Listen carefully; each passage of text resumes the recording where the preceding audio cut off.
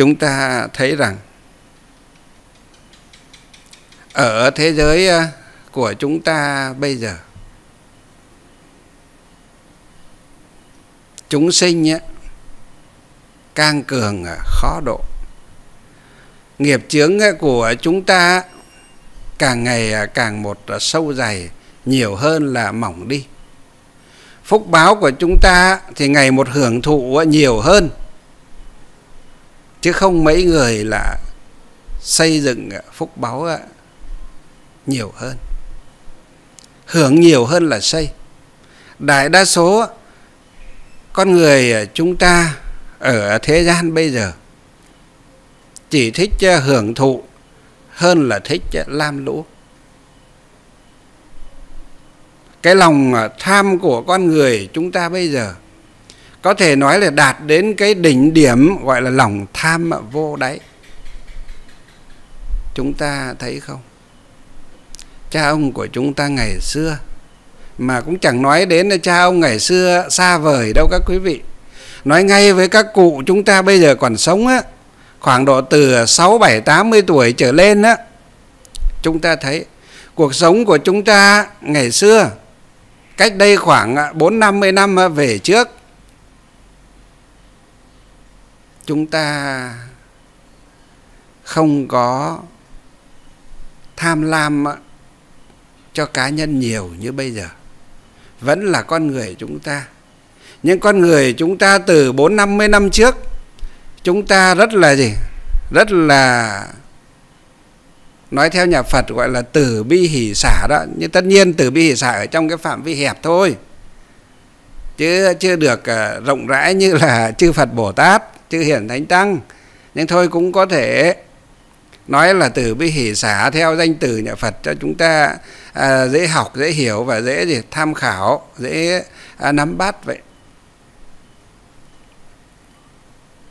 Đấy vẫn là chúng ta của ba bốn năm mươi à, năm mươi năm trước. Ba bốn năm mươi năm trước ấy, chúng ta gì? Cái sự à, đoàn kết hòa hợp giữa anh em, giữa họ hàng, giữa bạn bè và giữa làng xóm, láng giềng. Thực sự nói với các quý vị là gì? Là rất tốt vậy. Hàng xóm á, mười nhà thì bảy tám nhà. Có bắt ra canh ngon, liền là mang gì? Mang à, biếu nhau để cùng ăn. Nhà này á, có bát canh rau rền à, nấu cua. Xin lỗi các quý vị à, nói kiểu nhà quê ngày xưa nó như thế. Ngày xưa chưa biết học Phật pháp mà, thì nó thế. Có bát canh rau rền nấu cua đi, bưng gì? Bưng biếu ở vài nhà hàng xóm bên cạnh. Và đổi lại, nhà hàng xóm bên cạnh, có canh gì ngon, cũng bưng biếu nhà chúng ta một bát canh như thế. Đấy là cái tình nghĩa làng xóm láng giềng tối lửa tắt đèn có nhau. Cho nên các cụ chúng ta ngày xưa mới có cái câu nói rất là hay rất là ý nghĩa rất là trí tình trí lý vậy. Đó là gì? Đó là bán anh em xa mua láng giềng gần. Ý nói ở đây ấy, nói là anh em ở xa lúc ốm đau bệnh tật lúc à, vui buồn thì à, khó có thể à, một chốc một nhát. Một thời gian ngắn có thể đến thăm nhau luôn và chia sẻ ngọt bùi đắng cay được với nhau luôn vậy. Cho nên cái việc tốt nhất là gì? Là đối xử với láng giềng với những à, người thân. À, thân ở đây chính là thân quen nhau bằng gì? À, nhà nhà à, sống gần nhau á thì coi nhau như láng giềng coi nhau như những người thân vậy để giúp đỡ lẫn nhau. Cho nên cái tình à, làng à, xóm tình quê hương tình đồng bào dân tộc ngày xưa nó nó thiêng liêng lắm các quý vị. Nó thiêng liêng lắm có thể nói như vậy. À, các phật tử từ khoảng năm 60 tuổi trở lên đó sẽ hiểu được lời nói của chúng tôi đó là sự thật. Sự thật đến gì? Đến 99 19 19 19,9 phần trăm. Còn giới trẻ có thể gì? Chưa hiểu được đâu. Mà quả đúng thực như thế các cụ, các phật tử cứ sống khoảng 6 70 tuổi trở lên chúng ta sẽ chỉ thấy cái điều đó. Chính con người chúng ta ngày đó, chúng ta biết kính trên lại nhường dưới.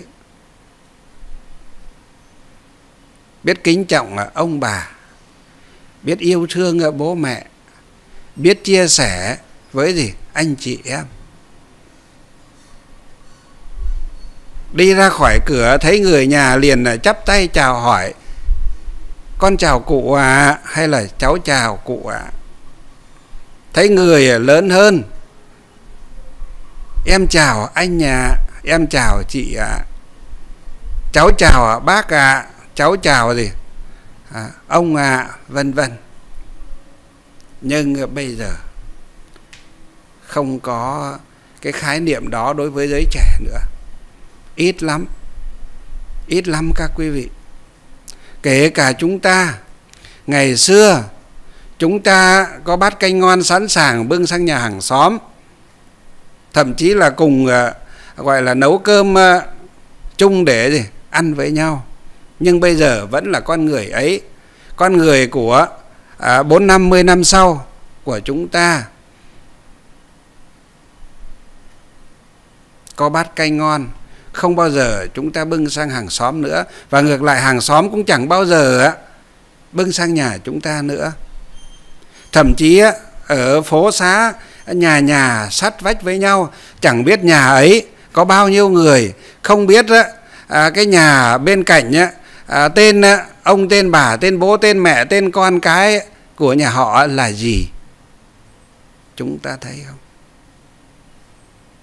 Đây là sự thật rất phũ phàng. Đối với gì? Đối với à, sự phát triển nhanh nhanh chóng, như tên lửa về kinh tế, xã hội à, bây giờ vậy. Kinh tế phát triển, đó là việc tốt. Nhưng à, nó cũng kéo theo rất nhiều những hệ lụy, đặc biệt là về vấn đề đạo đức, về nhân cách về lối sống, về sự yêu thương và về sự cảm thông sẻ chia ngọt bùi, đắng cay với nhau, giữa con người với con người. Xin thưa các quý vị, đó. Cho nên á, ở cái thời à, bây giờ, chúng ta nếu mà không chạy theo xã hội thì chúng ta sẽ bị tụt hậu. Vì vậy mà chúng ta thấy, giới trẻ ngày xưa chúng ta đi học là ngôi trường nào cũng có một cái biển to tướng. Đó là gì? Đó chính là mấy chữ tiên học lễ, hậu học văn. Sáu chữ rất là to. Tiên học lễ tức là trẻ con, học sinh đến trường thì việc đầu tiên đó là học gì? Học lễ nghĩa. Học lễ nghi. Và hậu học văn. Chứ hậu có nghĩa là sau. Sau đó mới gì? Mới học văn chương chữ nghĩa. Mới học những kiến thức văn hóa, chính trị, kinh tế, xã hội, vân vân trước học lễ, sau mới học văn. Đó là cái cách giáo dục của người xưa. Để đào tạo ra những con người có đức, có tài, để gánh vác. Giang sơn xã tắc. Để gánh vác trọng trách của gia đình và góp phần xây dựng xã hội ngày càng văn minh, phát triển bền vững. Nhưng bây giờ chúng ta thấy các cháu à, nội cháu ngoại chúng ta đi học, rồi à, các con chúng ta đi học bây giờ thì sao? Không giống như chúng ta ngày xưa nữa. Các con, các cháu bây giờ chúng ta đi học học rất nhiều các quý vị học rất rất nhiều chứ không phải là học nhiều nữa mà học rất rất nhiều. Nó học như một con vẹt học như một cái máy học thuộc lòng để để trả bài cho các thầy cô giáo để được điểm cao để được uh, xét tuyển vào uh, các trường uh, đại học uh, danh giá.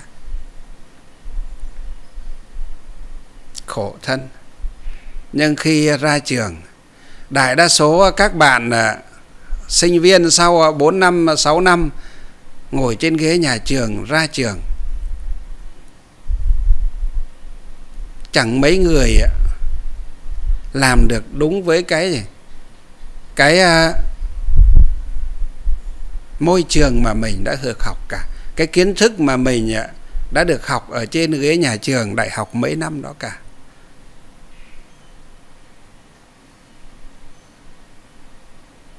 Cho nên chúng ta thấy cái cách giáo dục của Việt Nam chúng ta bây giờ cần phải xem xét lại, cần phải chấn chỉnh lại. Cái điều này à, tôi cũng đã nói với à, mấy cụ à, cố vấn của tổng bí thư. Nói cả với cố vấn của thủ tướng vừa qua rồi. Giáo dục chính là nền tảng để xây dựng đất nước Việt Nam chúng ta hùng cường, vững mạnh. Chúng ta ngược dòng lịch sử mấy chục năm trước sau Thế chiến thứ hai đế quốc Nhật Bản đã phải đầu hàng đồng minh. Sau khi à, Mỹ thả xuống thành phố Hiroshima và Nagasaki, hai à, quả bom nguyên tử kết thúc, chấm dứt đó cuộc đại chiến tranh thế giới lần thứ hai. Nhật Bản bắt buộc là phải đầu hàng à, đồng minh. Và chúng ta thấy Nhật Bản đi từ à, gần như thì khi mà Nhật Bản bị thua và phải đồng, đầu hàng đồng minh, thì gần như họ đi lên bằng gì? Từ à, những con số rất nhỏ, chứ không phải là số 7 80 cho đến 100 đâu, mà những con số rất nhỏ có thể chỉ 10 20 thôi chúng ta biết, Nhật Bản á, khi mới đầu hàng đồng minh xong. Đất nước của họ cũng gặp bao nhiêu những khó khăn. Khó khăn trồng chất khó khăn. Nhưng chúng ta biết, người Nhật họ đầu tư cho giáo dục của đất nước của họ hơn hẳn là đầu tư cho phát triển kinh tế.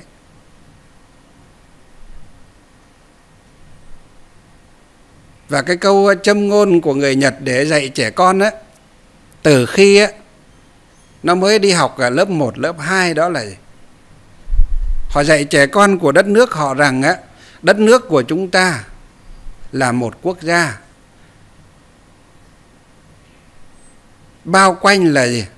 Là nước biển. Tức là Nhật Bản là gì? Là ở ngoài gì là những cái hòn đảo á tạo thành bao quanh là biển, mà đúng thật. Đất nước của họ bao quanh là biển. Họ dạy rằng đất nước của chúng ta bao quanh là biển cả. Đất nước chúng ta rất nghèo, không có tài nguyên khoáng sản lớn như các quốc gia khác. Cho nên, nếu muốn thoát nghèo chúng ta chỉ có một cách duy nhất, đó là phải gì? Phải học, phải tiết kiệm và phải gì? Phải nỗ lực, phấn đấu để đi lên. Nếu như chúng ta muốn gì? Muốn thoát nghèo. Nếu như chúng ta muốn gì? Thoát khổ. Và nếu như chúng ta muốn gì? Muốn các quốc gia, bạn bè, năm châu trên thế giới, họ không coi thường cho nên, Nhật Bản đã làm một cuộc cải cách, có thể gọi là một cuộc cách mạng về giáo dục. Từ đó cho đến nay, chúng ta thấy đất nước Nhật trong một giai đoạn dài của lịch sử phát triển các quốc gia trên thế giới, họ là cường quốc thứ hai sau Mỹ, về nhiều mặt mà nổi trội là kinh tế và khoa học ờ, kỹ thuật. Chúng ta thấy. Còn Việt Nam chúng ta thì ờ, ngày xưa chúng tôi còn bé, được đi học ờ, thì cứ thấy các thầy cô giáo dạy đất nước chúng ta rất giàu tài nguyên à, khoáng sản đất nước chúng ta thì có rừng vàng biển bạc. Đúng thật. Chúng ta có rất nhiều à, à, diện tích rừng gỗ quý so với Nhật Bản. Phải. Nhưng vì à, cái cách giáo dục là cho giới trẻ cho những người dân chúng ta có rừng vàng biển bạc có cánh đồng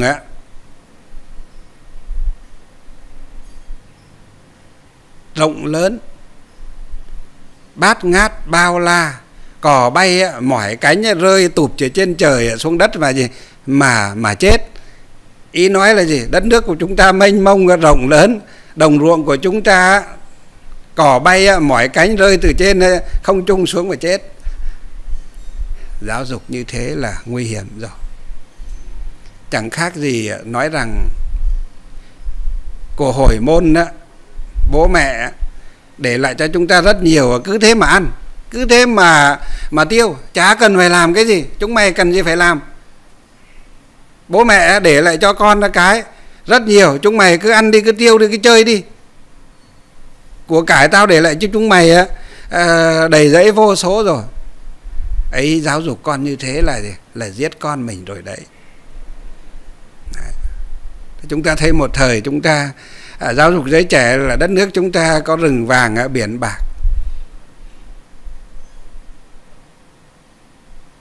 Cánh đồng á, rộng lớn á, thẳng cánh cỏ bay cỏ bay mỏi cánh để rơi tụp xuống đất mà chết. Cho nên bây giờ chúng ta mới thấy gì? Lên rừng. Các phật tử chúng ta nếu ai mà đi à, cái đường à, mòn hồ chí minh ấy, ngày xưa cách đây hơn 40 năm về trước khi đất nước chúng ta còn à, đang chiến tranh à, chống đế quốc Mỹ chúng ta mới thấy rằng từ Hòa Bình cho đến Thanh Hóa Nghệ An trở vào à, trong cho tới à, Quảng Bình, Quảng Trị vân vân đi trong cái đường Hồ Chí Minh ngày xưa là gì? rừng già bạt ngàn nhưng năm 2007 khi tôi học xong học viện Phật giáo Việt Nam tại Hà Nội tôi ờ, đi một chuyến ờ, xuyên Việt, đi bằng ô tô, đi đường đi đường Hồ Chí Minh. Nhìn thấy hai bên ờ, đồi núi chọc mà xót xa. Đi một đoạn lại thấy gì đồi núi khói bay nghi ngút. Tức là gì? Người dân họ chặt phá rừng, đốt rừng để làm nương, làm rẫy.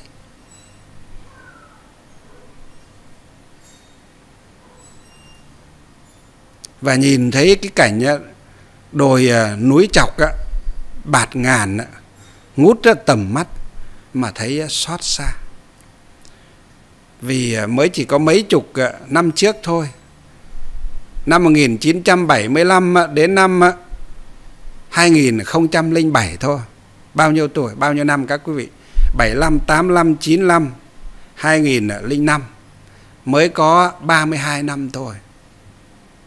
Từ cái rừng già bạt ngàn rừng che bộ đội rừng vây quân thù như các chiến sĩ bộ đội trường sơn chúng ta à, trước đây thường nói thì nay không còn rừng che bộ đội rừng vây quân thù nữa. Tất cả từ dọc hai bên đường vào chiếm đến 80 à, phần trăm à, trừ cái chỗ mà gọi là rừng à, quốc gia quốc phương và à, một số các rừng à, quốc gia mà họ quản lý ra thì mới còn rừng. Bằng không hai bên đường không còn gì nữa. Chỉ là đồi núi chọc nhìn mà xót xa tang thương mà thôi. Đấy rừng vàng đấy chúng ta khai thác hết rồi. Cho nên bây giờ mới xảy ra cái chuyện động mưa một chút là gì? Lũ ống, lũ quét. Nắng cho vài tháng thì à, lại khô hạn. Đất đai nứt nẻ. Ruộng nương hoa màu không gì, không thể à, cày cấy được nữa. Mưa lớn một chút là thành lũ ống, lũ quét. Cho nên mấy năm gần đây chúng ta thấy đảng nhà nước chính phủ chúng ta sát sao á chỉ đạo cái việc à, trồng cây à, gây rừng bảo vệ rừng. À, thôi cũng chưa muộn đâu như vậy là vẫn còn tốt. Chúng ta trồng cây gây rừng từ à, năm nay thì 3 năm đến 10 năm sau 3 năm đến 5 năm đến 10 năm sau thậm chí dài hơn nữa con cháu chúng ta thì sẽ bớt khổ chưa muộn, không có gì là quá muộn cả các quý vị. Chỉ sợ rằng chúng ta không giác ngộ mà thôi, không hiểu được cái điều đó mà thôi. Cho nên là giáo dục. Chúng tôi đang nói về giáo dục. Giáo dục rất quan trọng. Vì vậy mà chúng tôi cũng ờ, rất là tâm huyết ngồi ờ, nói chuyện với ờ, mấy cụ giáo sư? Mấy cụ à, cố vấn của thủ tướng và cố vấn của tổng bí thư? Ngồi nói chuyện à, vui thôi. Nhưng mà đây cũng là cái cái tâm huyết của chúng tôi. Một cái chút tâm huyết à, nho nhỏ của chúng tôi với gì? Với quốc gia, với dân tộc, với đất nước. Nhưng không biết là có ai ghi nhận không? à, cũng có. Đôi khi tôi thấy thì những lời nói của chúng tôi cũng gì? Cũng có. Cũng có được các cụ ghi nhận. Cũng có những lúc vừa mình vừa nói xong buổi sáng buổi chiều các cụ à, ghi nhận ngay các cụ à, chỉ đạo ngay. Thấy là cũng à, rất là hoan hỉ. Rất hoan hỉ.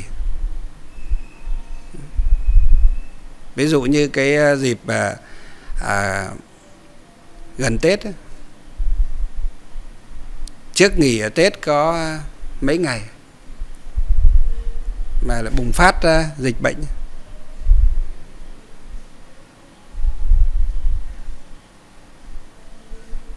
Chúng tôi à, tham mưu và nói với à, cố vấn của thủ tướng. Thôi còn có vài buổi học nữa, các cháu nó nghỉ. Thôi cho các cháu nó nghỉ trước đi mấy ngày à, không à, học cũng à, chả được là bao nữa đâu. Mà không may á rồi các cháu nó gì lại có những ca bệnh lây nhiễm covid ở trong trường học nữa thì khổ. Mà đặc biệt là các cháu nhỏ mà lúc đó là à, đang đại hội đảng. Chúng ta thấy một số các cháu nhỏ ở à, trường à, tiểu học gì đó đúng không? Trường tiểu học của ở chỗ Nam Từ Liêm bố mẹ phải bế con bồng con đi cách ly. Nhìn mà xót xa vô cùng, các cháu nó còn ngây thơ, nó còn bé nhỏ lắm. Nó mới chỉ có 4 năm tuổi, nó đã biết cái gì là đi cách ly, biết cái gì là dịch bệnh, biết cái gì là chết chóc đâu. Nhưng vì à, an toàn cho chính à, các con, an toàn cho chính người thân, an toàn à, cho cả xã hội, cho cả đất nước này. Cho nên bắt buộc là phải gì? Phải đưa các con đi cách ly. Nhìn thương lắm. À, tôi nói cái điều đó xong lúc khoảng độ 12 rưỡi thì à, 4 năm giờ chiều, thủ tướng cái gì, chỉ đạo là cho các à, cháu học sinh sinh viên nghỉ trước mấy ngày để phòng chống dịch, để phòng dịch bệnh lây lan vào trong các trường học. Thì lúc đó thì khổ vô cùng. Đấy là những à, cái việc mà chúng tôi thấy thì cũng có những việc mà chúng tôi tham gia à, đóng góp ý kiến vì chúng tôi là người dân. Cũng có thể được tham gia đóng góp ý kiến thì thấy rằng cũng có những lúc các bác lãnh đạo các bác có chỉ đạo ngay mà cái hiệu quả gì rất là tốt. À, cũng có một à, vài lần nữa một vài trường hợp cũng đặc biệt nữa. Có thể nói là là mình cũng không ờ, nghĩ rằng lời nói của mình lại có trọng lượng như thế lời nói của mình lại có giá trị như thế đối với đối với à, các vị lãnh đạo cấp cao như vậy.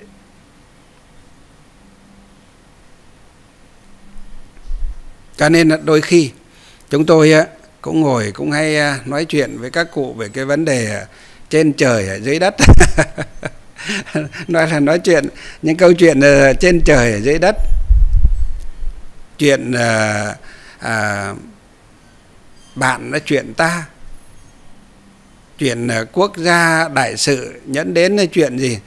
Nho nhỏ ở trong cuộc sống thường ngày. Và chúng tôi ờ, đặc biệt ờ, rất chăn trở tâm sự với ờ, các cụ là cái vấn đề giáo dục của Việt Nam chúng ta. Nếu mà không nghiên cứu, không đưa ra được cái phương pháp cải cách lớn mình nói nôm na gì, không làm được một cuộc cách mạng lớn về giáo dục cứ cái đà như thế này tầng tầng mà đi hết 5 năm hết một khóa, hết 5 năm, hết một khóa, hết 5 năm, hết một khóa hạ cánh an toàn đó thì à, nguy hiểm vô cùng.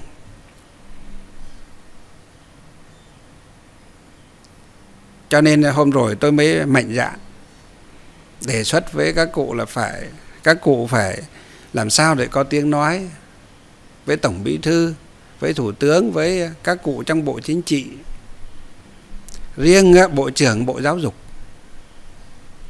Ít nhất cũng phải ờ, là ở trong ban bí thư.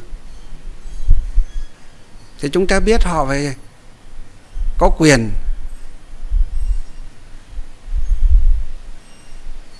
có cái gì? Cái ờ, quyền hạn đó, thật sự thì họ mới có tiếng nói sát sao được mà thậm chí tôi ấy mạnh dạn đề xuất với các cụ này. Riêng bộ trưởng bộ giáo dục chúng ta cần phải nâng cao lên ngang với tầm bộ trưởng bộ quốc phòng bộ trưởng bộ công an bộ trưởng bộ ngoại giao. Vì sao? Tôi à, nói với các cụ bộ quốc phòng đảm bảo về à, an à, ninh trật tự tầm vĩ mô của quốc gia đó là chống giặc ngoại xâm. Khi cần vẫn có thể à, đem binh à, dẹp loạn ở trong nước được. Nhưng cái việc chính của quân đội đó là đảm bảo cái tầm cái phạm vi à, cái cái tầm à, gọi là đảm bảo cái an ninh à, tầm cỡ quốc gia đó là chống giặc ngoại xâm là chính. Còn à, bộ công an đó, là đảm bảo à, an ninh à, nội bộ chính trị. Chống những kẻ chống phá nhà nước à, chống những kẻ buôn lậu những kẻ trộm cắp à, vân vân. Mình nói nôm na là đảm bảo tình hình à, an ninh à, nội bộ trong nước. Còn bộ ngoại giao, chúng ta thấy cũng rất quan trọng. Mấy khóa trước là bộ trưởng ngoại giao là ủy viên bộ chính trị hoặc là ở ban bí thư. Nhưng mà xét ra gần như chưa bao giờ thấy bộ trưởng bộ giáo dục ở đất nước chúng ta là ủy viên bộ chính trị. Rồi à, tôi nói với à, các cụ.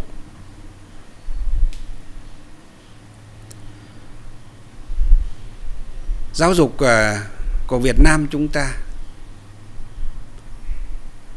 Nhìn nhắc nhác qua thì tưởng là đang đi lên.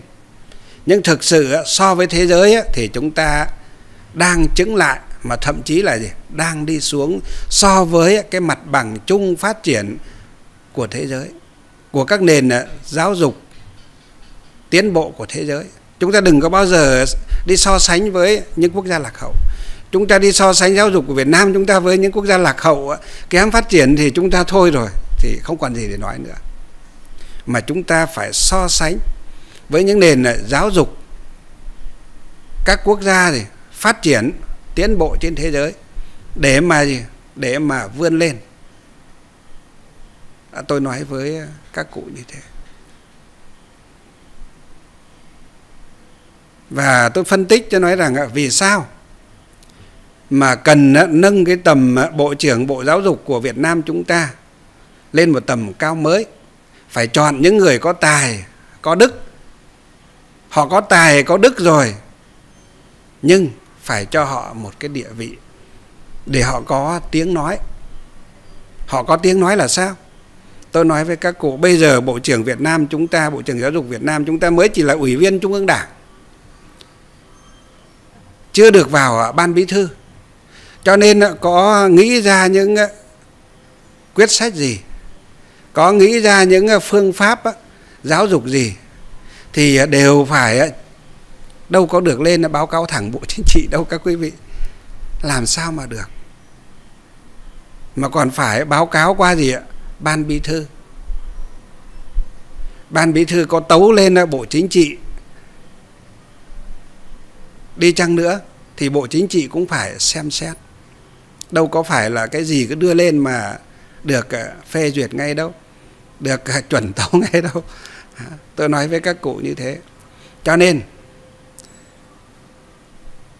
tôi à, tham mưu à, với các cụ là các cụ à, nên tham mưu cho cụ tổng, tham mưu cho bộ chính trị. Đó là phải đưa cái nền giáo dục của Việt Nam bắt kịp, thậm chí là sánh ngang với các quốc gia phát triển trên thế giới bây giờ phải đặt ra cái mục tiêu 5 năm 10 năm và không được quá gì 20 năm. Nếu quá 20 năm là chúng ta à, đánh mất đi đến gì? Đến ba bốn thế hệ giáo dục con người rồi. Cho nên nó đặt ra mục tiêu 5 năm 10 năm và 15 năm là cùng thôi. Mà muốn làm được điều đó, đầu tiên là phải chọn người có tài, có đức để làm bộ trưởng giáo dục. Và phải gì? Cho họ một cái địa vị, một cái ờ, vị trí để họ có tiếng nói. Đó là gì? Đó là bộ chính trị, ủy viên bộ chính trị. Khi họp những cái việc ờ, quốc gia đại sự, thì đầu tiên chúng ta biết là đất nước chúng ta là phải họp bộ chính trị rồi bộ chính trị à, họp trước, xong đó mới đến trung ương đảng. Vậy, người có tài, có đức, mà tiếng nói của họ không đến được với bộ chính trị, mà đến được với bộ chính trị à, thì trong cuộc họp đó không có ai đứng ra để bảo vệ cái ý kiến cho họ. Ví dụ như có một vài à, bác nào đó, một vài cụ nào đó mà phản ánh lại cái việc đó. Mô hình giáo dục ấy nó như thế nào? Đưa vào giáo dục ở Việt Nam chúng ta, nó có ổn không? Nó có phù hợp không? Vân vân và vân vân. Thì ai là người đứng lên để bảo vệ cái quan điểm? Cái sự đổi mới và cái sự đột phá về giáo dục của đất nước chúng ta, cho các cụ à, cấp cao của đảng và nhà nhà nước nghe. Tôi nghĩ rằng khó. Cho nên à, tôi mới nói với các cụ là chỉ có vị bộ trưởng ấy, họ được ngồi họp với các cụ, họ đưa ra những cái luận điểm, những cái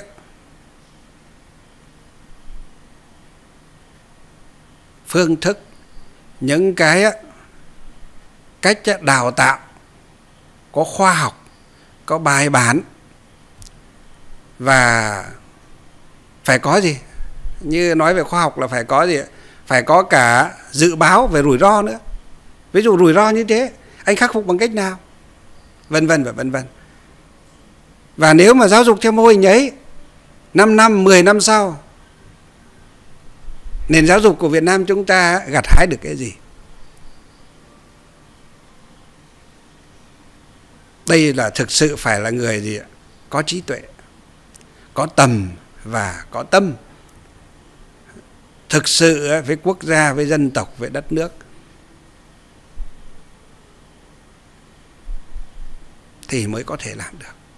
Lại cho họ cái đó. Mà thậm chí tôi còn à, tham vấn nữa là không chỉ là bộ trưởng bộ giáo dục tham gia ủy viên bộ chính trị.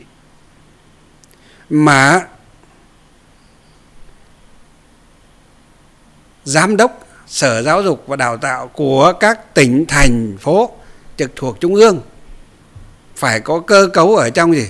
Trong à, ban thường vụ tỉnh ủy, ban thường vụ thành ủy để họ có tiếng nói, để họ trình bày với ban lãnh đạo thường trực tỉnh ủy thành ủy.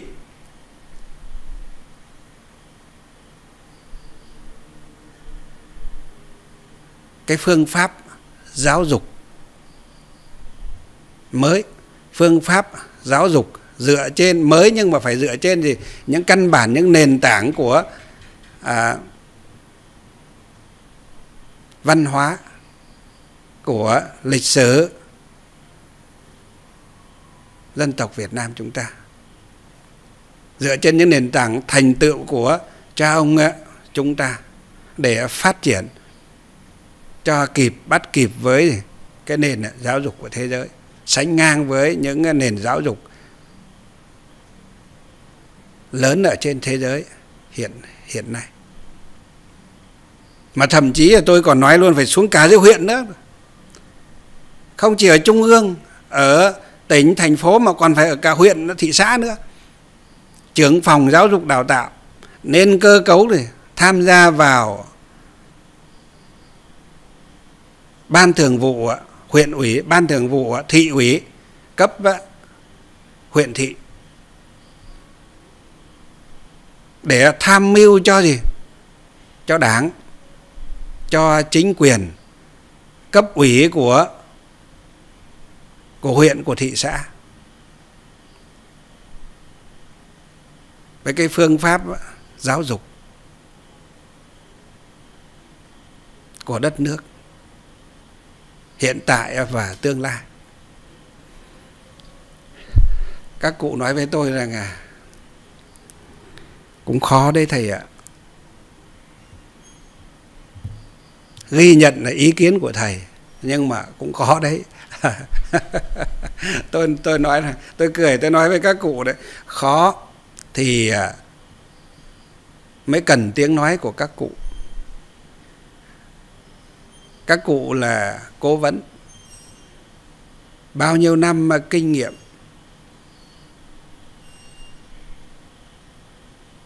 Những cái lời nói của các cụ, nói ra nó mới có trọng lượng.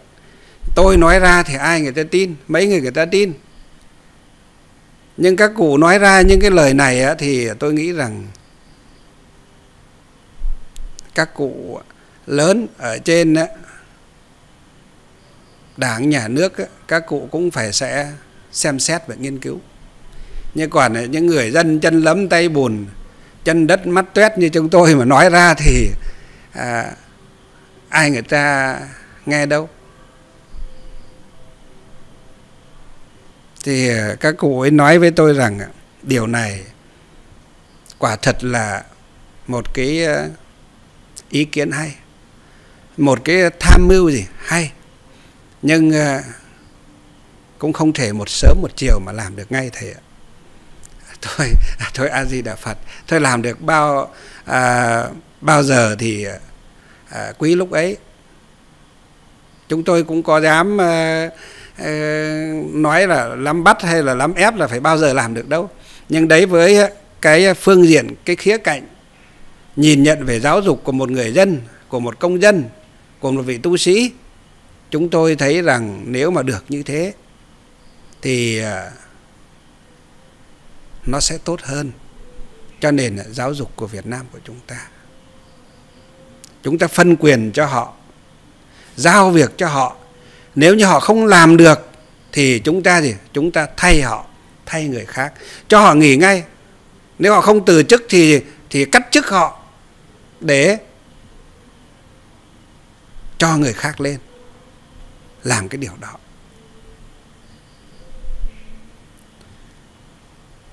cho nên chúng ta thấy đấy thôi cũng nói về pháp của thế gian à, một chút xíu như vậy tâm sự một chút xíu như thế À, với các phật tử chúng ta.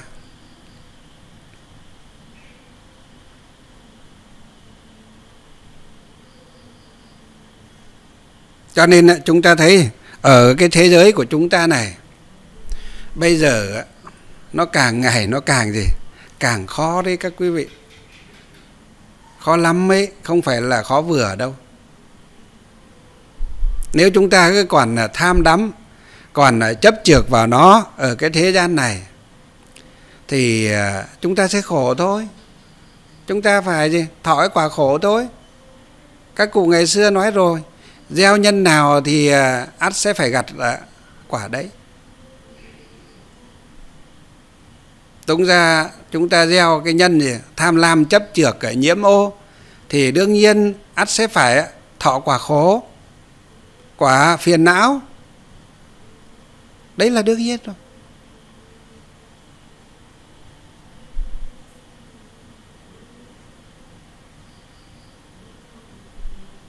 Đấy, ở cái thế giới này bây giờ nó thế đấy.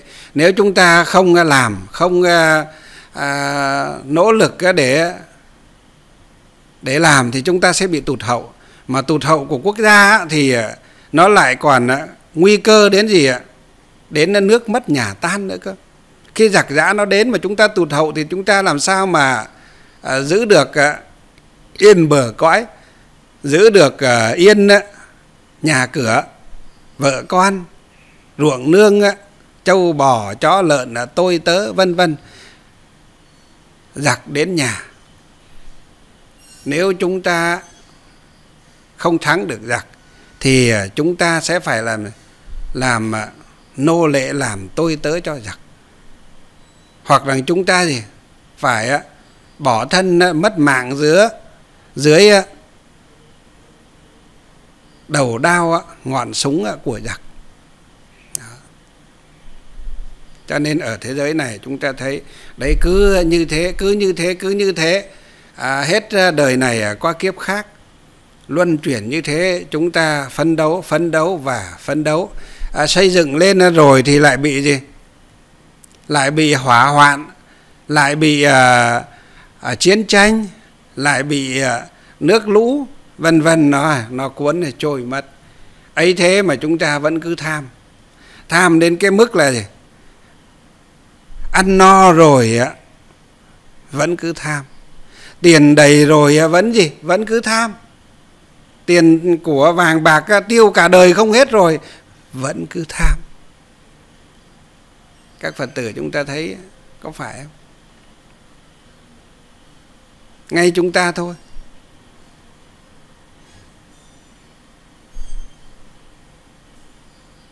Xem xét lại chính bản thân mình thôi. Đấy mình vẫn còn tham mà đúng không? Tham. Nhưng mà tham việc tốt á à, tham làm việc tốt á thì à, cái đó trong nhà phật gì? À, đức phật nói trong à, tứ như ý túc đó gọi là dục như ý túc. Thì cái tham đó là gì? Là tốt. Tham làm việc thiện. Tham à, cứu à, giúp chúng sinh. Tham làm à, những cái việc có ích cho quốc gia, cho xã tắc, cho nhân quần xã hội, nhấn đến cho tất cả chúng sinh nhé. Thì tham làm những việc phúc thiện đó là gì? Đó là việc tốt. Chúng ta có thể vất vả có thể khổ cực, có thể nhọc nhằn, nhưng chúng ta thì đổi lại chúng ta được ờ, hưởng cái phúc báo lâu dài, mãi mãi về sau Đó. mười phương ba đời chư Phật đều từ cái việc tu nhân tích đức hành thiện, quảng độ chúng sinh mà thành tựu đạo quả mà được thành Phật như bây giờ. Mười à, phương chư đại Bồ Tát, các ngài muốn thành Phật cũng đã, đang và sẽ phải thực hành những việc à, thiện lành lớn lao ấy. Mười à, phương chúng sinh khổ đau như chúng ta, nếu mong muốn thoát khổ thì cũng phải gì? Phải học và làm những điều ấy. Cho nên lời của chư Phật Bồ Tát chỉ dạy chúng ta. Đừng à, có tham những gì cho cá nhân và cho những người à, thân à, thân yêu riêng lẻ của mình. Nếu có tham thì phải là đại tham. Đại tham ở đây tức là gì? Tham làm các việc thiện để cứu giúp chúng sinh cứu giúp mọi người, thì à, đó là việc tốt.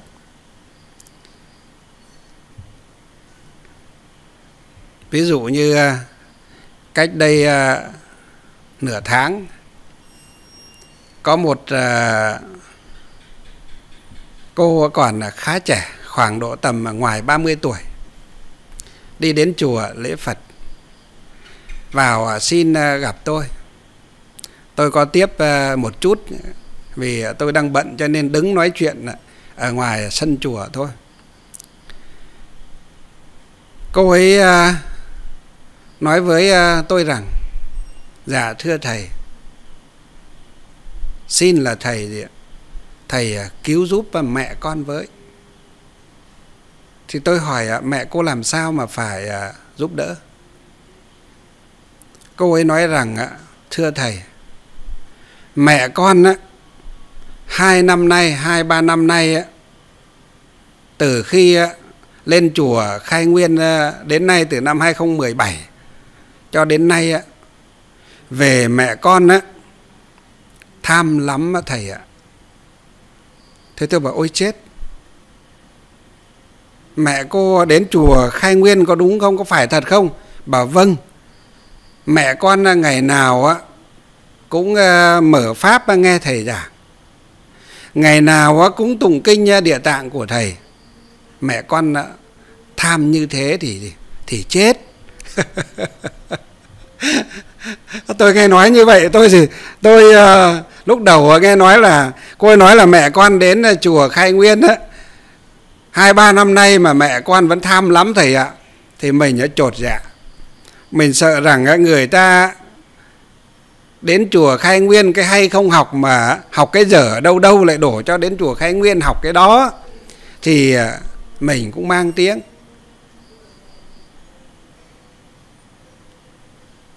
Cho nên à, mình mới à, hỏi lại, thì cô ấy nói là, cô ấy giải thích thêm là đấy, mẹ con từ khi lên chùa tới giờ về suốt ngày mở băng đĩa nghe thầy giảng suốt ngày tụng kinh à, à, niệm phật. Chẳng à, chăm sóc gì đến à, sức khỏe của mình cả. Cũng chẳng muốn à, ăn uống gì với con cái nữa cả. Thế tôi mới hỏi rằng vậy thì mẹ cô có hay chửi con trai con gái con dâu con rể mắng nghe cháu nội, cháu ngoại, hay là bất hòa với hàng xóm láng giềng, gì không? Cô ấy bảo à không thầy ạ, cái này thì không. Mẹ con rất là tốt. Từ xưa đến nay mẹ con vẫn rất là tốt. Chưa đi chùa mẹ con cũng tốt, mà đi chùa rồi thì mẹ con cũng vẫn tốt. Nhưng có mỗi một cái chúng con thấy, mẹ con là tham tụng kinh niệm phật.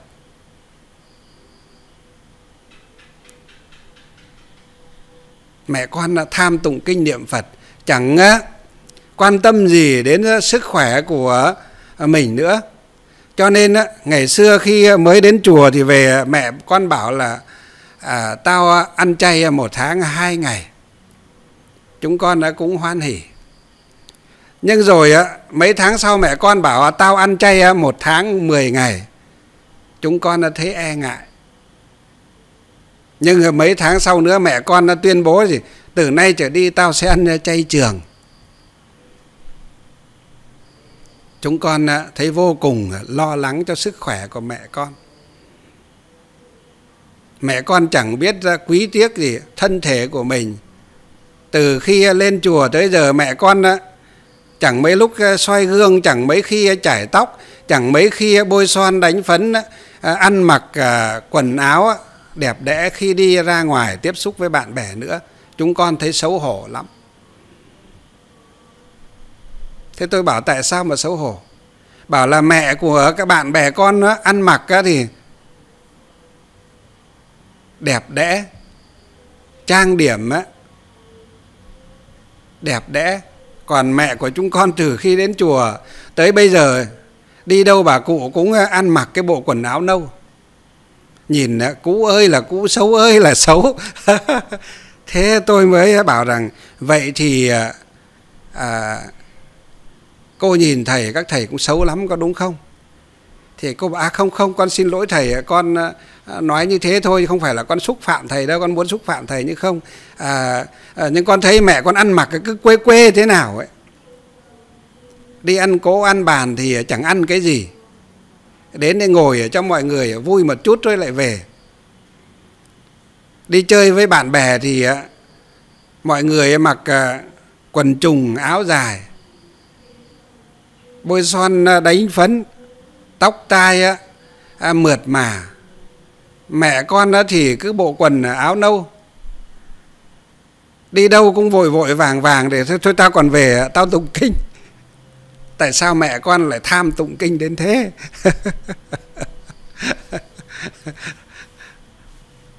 Tôi cười, tôi bảo với à, cô ấy rằng, này à, cô ạ, cô phải biết à, cảm ơn cô có một người mẹ tuyệt vời như thế. Từ khi sinh các cô ra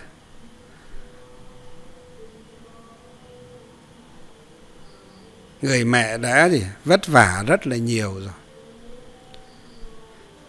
Nay mẹ các cô đi đến chùa học phật pháp. Tham tu như thế. À, cô ấy nói là mẹ cô ấy tham tụng kinh tham nghe pháp mà. Cho nên tôi cũng phải dùng cái từ mẹ cô tham tu như thế. Đó là một việc tốt chứ không phải việc xấu. Mẹ cô có nghe pháp thì à, tâm mới gì? Mới an định mẹ cô có nghe pháp thì à, trí tuệ mới được khai mở. Mẹ cô có nghe pháp thì à, những kiến thức phật học và kiến thức thế học mới vững vàng, mới không tu à, sai đường lạc lối được, mới không chọn nhầm thầy tà bản xấu được. Mẹ cô có tham tụng kinh niệm phật nhiều thì công đức của cả gia đình cô mới được à, tốt đẹp. Cô nghĩ xem, ngày còn bé, các cô chưa đi làm được, mà không có bố mẹ các cô làm thì các cô lấy cái gì để bỏ vào miệng? Các cô tự làm được không? Chắc chắn không. Nhưng bố mẹ cô có ai á, trách các cô còn bé, tại sao không đi làm không? Không ai trách cả. Bố mẹ cô chỉ lặng lặng mà làm. Biết rằng, á, mình chăm chỉ chịu thương chịu khó. Có của ăn của để để cho con gì, bằng chúng bằng bạn, để cho con đi học, đi hành. Đó là việc tốt hay là việc xấu? Cô nghĩ xem. Và tôi trả lời luôn, chắc chắn là việc tốt cô ạ. Nay tương tự như thế. Các cô tuy đã lớn khôn tuy đã biết kiếm tiền, thậm chí kiếm rất nhiều tiền, kiếm nhiều tiền hơn bố mẹ các cô gấp nhiều lần ngày xưa bố mẹ các cô kiếm tiền. Nhưng, về à, kiến thức Phật pháp, theo à, tôi à, tôi nghĩ rằng chắc cô chưa học, chưa hiểu mà chưa biết gì về Phật pháp cả. Cho nên hôm nay cô mới đến với, mới phản ánh với thầy là mẹ cô tham. Tôi tưởng là mẹ cô tham sân si á à, cái gì không cho con cho cháu cái gì cũng bo bo giữ lấy cho bản thân nó mới sợ. Còn cô nói là mẹ cô tham nghe pháp mẹ cô tham tụng kinh niệm phật mẹ cô tham làm các việc thiện thì đó là việc tốt đấy. Các cô bây giờ chưa biết gì về phật pháp chưa biết gì về về giáo lý của đức phật về công đức bỏ ác làm lành lãnh giữ hành thiện cũng giống như khi các cô còn bé mới sinh ra, hai, ba, bốn, năm tuổi chưa biết đi kiếm tiền, thì bố mẹ các cô gì? Lao tâm khổ tứ. Bán mặt cho đất, bán lưng cho trời để gì? Để kiếm tiền đó. nuôi nấng các cô khôn lớn. Này các cô tuy khôn lớn, tuy kiếm tiền được nhiều, nhưng đó là về gì? Kiến thức của thế gian, pháp còn à, kiến thức về gì? Về à, phật pháp, về à, con đường giải thoát và giác ngộ của đức thế tôn đã chỉ dạy. Chắc chắn là cô chưa biết cái gì. Cô mới lên đây nói với thầy về cái lòng tham của mẹ con như thế. Cho nên nay mẹ con mà biết tu nhân tích đức làm việc thiện, thì còn gì? Không chỉ mẹ con được phúc mà gì? Con, cô cũng được phúc. Con, cô cũng được phúc thậm chí là cháu chắt chút chít cô sau này cũng được hưởng một cái phần à, à, phúc ở trong đó. Cho nên các cô phải mừng chứ thì các cô lại đi lại à, tố cáo mẹ mình à, tham nghe pháp tham cái tụng kinh tham niệm phật với thầy. Như thế thì quả thật là gì? Buồn lắm cô ạ. Nghe thầy nói như thế cô ấy mới thay đổi sắc mặt mới nói rằng là dạ thưa thầy quả thật là chúng con đã có lớn nhưng ấy, chưa có khôn. Có học á nhưng mà nhưng mà chưa được uh, sáng tỏ mọi điều ở trên uh, thế gian này. Cho nên thì con cứ nghĩ rằng ờ, mẹ con đã làm như thế là sai tu như thế là sai cho nên á à, con thấy lo con thương mẹ vì vậy con phải à, muốn lên chùa để gặp được các thầy à, con hỏi may quá vừa vào bước vào khỏi tam quan con nhìn thấy thầy con biết ngay vì mẹ con thì ngày nào cũng mở cái băng giảng của thầy để nghe ở trong nhà. Cho nên đấy, chúng con nhận ra thầy ngay. Vì vậy con thì phải lên tận nơi để hỏi. Sợ con mẹ con đi sai đường tham tụng kinh niệm phật như thế thì đi sai đường thì chết đi vào con đường tà ma ngoại đạo thì chết. tôi cười tôi bảo là ừ cô lo cho mẹ như thế là tốt. Nhưng hôm nay đến đây rồi tôi có duyên gặp thầy thầy không có thời gian để chia sẻ tâm sự với cô nhiều. Thế cô về có thể thì cứ chịu khó đọc sách nghe giảng dần dần đó, sẽ hiểu ra thôi. Còn thầy khẳng định với cô là gì? Mẹ cô không phải là tham làm à, tham tu à, tham à, nghe pháp như thế là việc xấu đâu cái tham ấy chính là gì? Là cái tham tốt đấy, tham làm việc thiện, tham à, học chính pháp, tham hành à, chính pháp, tham tu chính đạo. Như vậy là gì? Là tốt đấy. Đó. Cho nên nếu các phật tử chúng ta nếu mà có khởi lòng tham, thì à, hãy tham làm những việc tốt. Tham nghĩ những điều tốt và tham nói gì? Những lời tốt.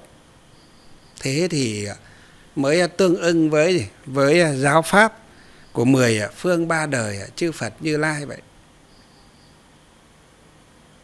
đem những công đức ấy để hồi hướng trang nghiêm tịnh độ. Để hồi hướng cầu sinh cực lạc thế giới, thì Phật nào chẳng rước chúng ta? Phật nào lại có thể lại bỏ đi một người học trò một người đệ tử tốt như thế được? Đấy cho nên người học đạo chúng ta phải à, biết rõ được cái điều đó. Ráng cố gắng à, làm các việc thiện. À, đối với các phật tử chúng ta kể cả tăng ni cũng vậy.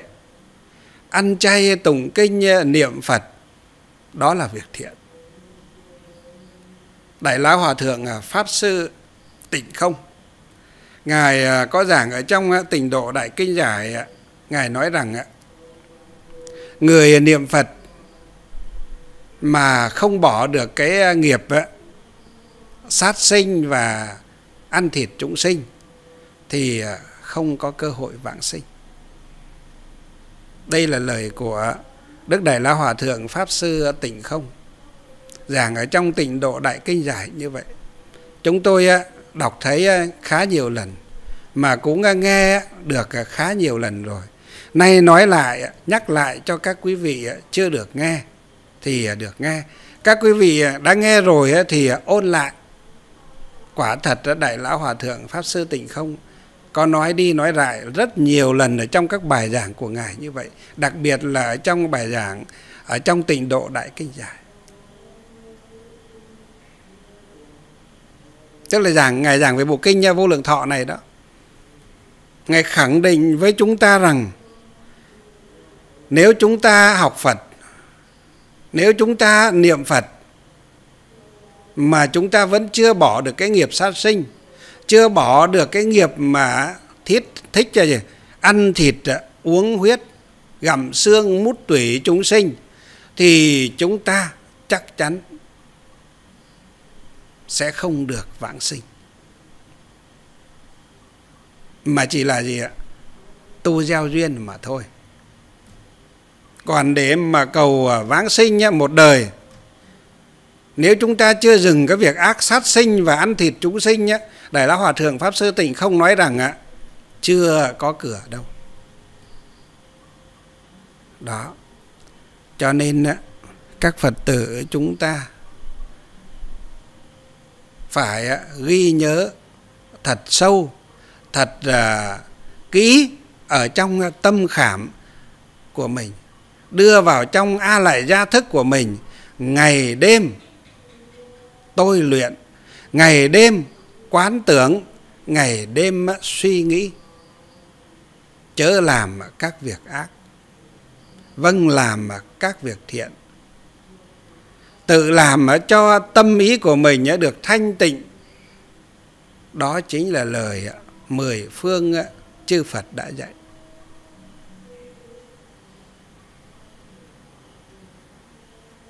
cho nên là chúng ta muốn được một đời vãng sinh về với Đức Phật A Di Đà. Ở đây chúng ta thấy là nguyện thứ 20 này Pháp tạng tỷ khiêu là tiền thân của Đức Phật A Di Đà ngài nói gì? Nghe thấy danh hiệu của ngài, nhớ nghĩ về quốc độ của ngài và chuyên tu công đức lành. Chúng ta nhớ nhé, câu chuyên tu công đức lành, năm chữ ấy thôi. Xin thưa các quý vị, chúng ta thực hành cả đời cả kiếp chưa chắc đã gì đã thành tựu được hết. Chuyên tu công đức lành. Tức là chuyên gì ạ? Chuyên làm các việc thiện đó. Nói cho chúng ta dễ hiểu đó là chuyên làm các việc thiện khó lắm các quý vị. Mà việc không sát sinh đó chính là một việc thiện. Không sát sinh chính là một việc đại thiện. Không ăn thịt chúng sinh cũng là một việc thiện. Không ăn thịt chúng sinh đó cũng là một việc gì? Đại thiện. Đại tức là gì? Là to, là lớn. Không sát sinh là một việc thiện lớn. Không ăn thịt chúng sinh đó cũng là một việc thiện lớn. Cho nên các phật tử, chúng ta nếu muốn ờ, được đức phật ờ, a di đà ghi tên ờ, ở trên bảng vàng, đưa mình vào danh sách là trúng tuyển, vào cái trường tuyển Phật ở Tây phương cực lạc thế giới á, thì chúng ta phải gì? Phải dừng lại không làm những việc sát sinh hại vật nữa. Và đặc biệt chúng ta nên để nuôi lớn tâm bồ đề của chúng ta bằng cách là chịu khó ăn gì? Ăn chay. Ăn chay rát ruột. Ăn chay các cụ ngày xưa nói ăn chay rát ruột và thâm da. À, nhưng nó không rát ruột mãi đâu các quý vị ạ. Ăn nó vài tuần vài tháng nó sẽ quen mà. Gọi là ăn chay rát ruột thâm gia thâm gia tức là sao? À, lúc mới ăn thì à, mới ăn chay á, nhìn cái à, chân tay thân thể chúng ta nó xanh xao nó yếu đuối ốm yếu đi một chút. Vì à, cơ thể trước đây ăn thịt nó quen nó đang quen những cái chất đó ở trong cơ thể chúng ta rồi nay chúng ta tự nhiên nó bỏ nó đi nó hụt hẫng nó thiếu. Vì vậy mà chúng ta có một số những người ăn chay mới ăn chay trường này cảm thấy là mình à, hoa mắt trắng mặt. Cảm thấy là hơi đau đầu. Cảm thấy là mình à, hay ốm à, đau. Không sao. À, vượt qua một cái thời gian ngắn ngắn vài tháng đó thì nó sẽ trở lại trạng thái à, cân bằng cơ thể của chúng ta tự nó sẽ cân bằng nó sẽ biết điều chỉnh. Cơ thể của chúng ta nó cũng có những cái điều vi diệu lắm quý các quý vị ạ.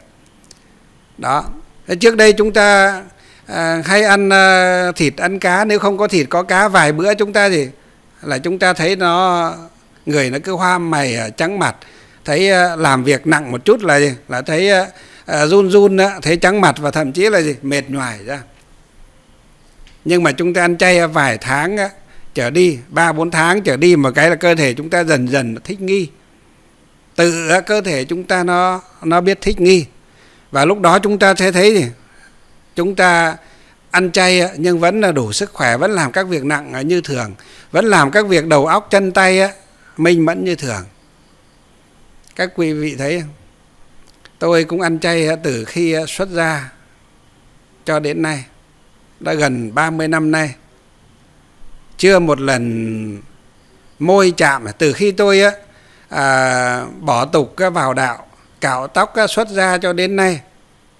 Chưa một lần đó, môi chạm à, vào à, miếng thịt của chúng sinh. Nhưng các vị thấy à, chúng tôi có yếu ớt quá không? Không cũng không yếu ớt quá đâu. Chúng tôi đủ sức khỏe để làm các công việc phật sự thậm chí là làm rất nhiều nữa là đằng khác.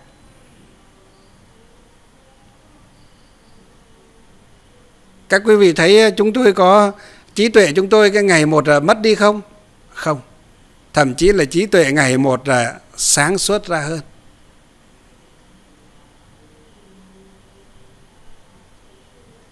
Ngày xưa chúng tôi á, à, chưa xuất ra. Còn à, à, ăn thịt à, chúng sinh á, thì à, trí tuệ của chúng tôi á, đâu có cái gì đâu học 6 năm mới lên được có lớp 4 mà.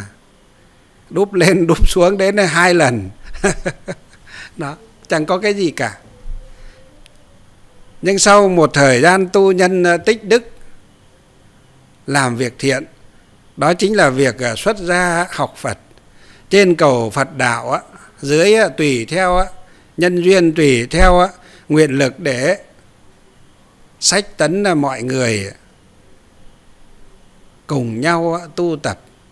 Cùng nhau niệm phật. Cùng nhau tụng kinh. Cùng nhau tu phúc. Cùng nhau phát nguyện vãng sinh tây phương cực lạc thế giới. Thì các quý vị thấy, chúng tôi tuy là chưa phải là bậc ờ, thông minh đại trí, chưa phải là bồ tát thánh tăng, chưa phải là các bậc ờ, gọi là thiện hữu tri thức chưa phải là các nhà bác học uyên thâm lịch lãm cũng chẳng phải là à, những người à, trí tuệ siêu phàm à, vượt bậc như à, những người khác. Nhưng chúng tôi thấy là thôi à, như thế này là cũng quý lắm rồi. Hai mấy gần ba mươi năm ăn chay tụng kinh niệm Phật mà được cái chư Phật Bồ Tát khai tâm, khai trí cho. Mình à, cũng có thể lên ngồi trên à, tòa giảng năm câu à, ba điều. Cũng nói ngược nói xuôi, khiến cho mọi người nghe thấy 10 người cũng được năm sáu người hoan hỷ. Như thế là cũng tốt rồi. Như thế là cũng quý rồi. Cho nên các quý vị đừng có nghĩ rằng ăn chay là gì là yếu đuối, ăn chay là ốm đau, ăn chay là bệnh tật. Chúng ta thấy đi vào bệnh viện, chúng ta thấy chiếm đến 99 19 19% là những người ăn thịt, uống rượu à, đi viện đấy chứ, đúng không? Việt Nam chúng ta bây giờ tăng ni Phật tử ăn chay rất là nhiều, đặc biệt là trong miền Nam. Nhưng chúng ta thấy những người ăn chay bây giờ sức khỏe của họ lại bền bỉ lại dẻo dai hơn. Vì sao? Vì ăn chay bây giờ bớt đi những cái độc dược độc tính còn à, à những cái à, chất độc còn ở trong à, thịt của con lợn con gà con cá con trâu con dê con bò vậy cho nên chúng ta thấy chính ăn chay bây giờ mà ăn chay được sức khỏe lại bền bỉ lại dẻo dai hơn người ăn mặn rất là nhiều mà ăn chay thì à, ít người bị bệnh à, ung thư bị những căn à, bệnh quái ác hơn rất là nhiều. Đây tôi tôi nói về khoa học về à, thực dưỡng thôi. Nó là như thế rồi. Chứ còn nói về nhân quả thì chúng ta biết đức phật nói trong kinh nhân quả gieo nhân nào ắt gặt quả đó. Chúng ta gieo nhân thiện không sát sinh không ăn thịt chúng sinh đó là nhân thiện. Chắc chắn sẽ ắt ắt sẽ gặt được quả báo gì? Quả báo tốt vậy. Đó. Cho nên là chúng ta cố gắng, ráng phát nguyện đi. Không chưa chưa không có chết đâu mà lo. Mà nếu có chết thì chúng ta gì chúng ta có chỗ để về rồi mà. Chỗ đó là ở đâu? Đó chính là tây phương cực lạc thế giới. Chúng ta ngày nào niệm phật xong cũng nguyện gì? Nguyện là đem công đức này trang nghiêm phật tịnh độ. Trên thì đền bốn trọng ân dưới thì cứu ba đường khổ. Nếu có ai thấy nghe đều phát tâm bồ đề. Hết một báo thân này đồng sinh về cực lạc. À, chúng ta phát nguyện như vậy mà chúng ta còn à, sợ chết thì thôi à, chúng ta thì chúng ta lời phát nguyện chúng ta là lời phát nguyện xuông. Chúng ta phải xác định là rồi sống thì tu chết thì về với phật. Như thế thì mới được. Các quý vị tu hành mà phát nguyện mà à, giữ được cái tâm kiên cố như thế thì mới được. Đừng có nghĩ rằng à, mình ăn chay mình ốm đau bệnh tật mình à, à, không sống được à, lâu ở trên quái quái đời này. Sống thêm một vài năm một vài chục năm ở trên cuộc đời này để mà tạo tác để mà làm việc ác sau đó xả bỏ báo thân này mà đọa vào trong ba đường ác đạo địa ngục ngạ quỷ súc sinh để mà kéo cày trả nợ để mà trả báo tiền kiếp thì các quý vị nghĩ xem, như vậy có đáng sống thêm vài năm, vài chục năm nữa không? Xin thưa các quý vị, nếu mà sống như thế thì một ngày cũng không nên sống. Một ngày cũng không đáng sống vậy. Sống mà tạo việc ác, sống để làm việc ác, sống để sau khi hưởng hết báo thân này mà đọa lạc vào sâu hơn để trả nợ nợ mạng thì sống như thế, càng sống thêm ngày nào, càng đau khổ ngày đó. Càng sống thêm kiếp nào thì càng đau khổ nhiều hơn cho những kiếp gì? Cho những kiếp về sau vậy các quý vị. Cho nên đức phật dạy ở trong kinh các tổ giảng ở trong luận khuyên chúng ta rằng đừng có bám chấp vào tấm thân này mà tạo các việc ác. Hãy à, buông xả nó. Hãy gì? Đừng à, chấp trượt vào nó. Hãy coi nó như là một gì? Chiếc à, bè một chiếc thuyền để cho chúng ta bơi qua sông mà thôi. Nó chỉ là phương tiện nó không theo chúng ta mãi mãi được. Cho nên phải biết à, tận dụng nó để tu nhân tích đức làm việc thiện. Đừng có chiều chuộng nó quá mà gì, mà là đi tạo tác những việc à, ác vậy. Đó. Cho nên chúng ta thấy cái à, ý nghĩa của đại nguyện thứ 12 này à, ngài pháp tạng tỷ khiêu tức là tiền thân của đức phật a di đà đó, ngài nói rằng ai mà nghe thấy danh hiệu của ngài, chúng sinh nào mà nghe thấy danh hiệu của ngài nhớ nghĩ về quốc độ của ngài chuyên tu công đức lành một lòng đem hồi hướng muốn sinh về cõi nước của ngài. Nếu mà không được như nguyện thì ngài thể sẽ chẳng thành ngôi chính giác. Cho nên tất tần tật những việc thiện của chúng ta làm được đều đem hồi hướng để cầu sinh tây phương cực lạc thế giới. Không cầu một chi khác. Cái khác á, được thì à, tự nó được. Mà chả được thì thôi cũng chả sao. À, chỉ cầu à, sinh tây phương cực lạc thế giới thôi chứ không cầu cho mua may à, bán đắt đi một về mười đi tươi về tốt. Không cầu cho tiền vào như nước sông đà tiền ra giỏ giọt như nước của cà phê phin. Người phật tử chúng ta học đạo chân chính không bao giờ cầu